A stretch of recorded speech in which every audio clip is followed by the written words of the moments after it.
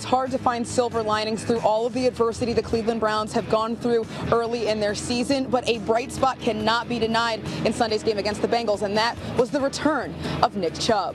Chubb last played in an NFL game on September 18, 2023, when he suffered a brutal knee injury, tearing his ACL and MCL.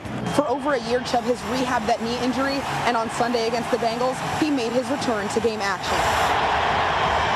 Cheers in Huntington Bank Field were loud for Chubb as he came out of the tunnel onto the field for the very first time. But they grew even louder when he found the end zone in his very first game back. I was so happy for him to get a touchdown, his first game back.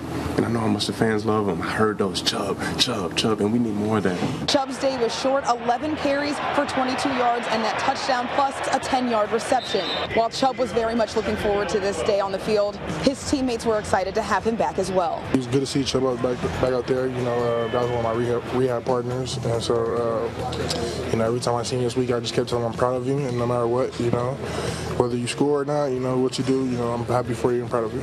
Now we'll see how Chubb fared out of this one into the week, what his workload might be in upcoming games. But no matter what, it was good to see Chubb on the field. The fans made that clear. His teammates made that clear.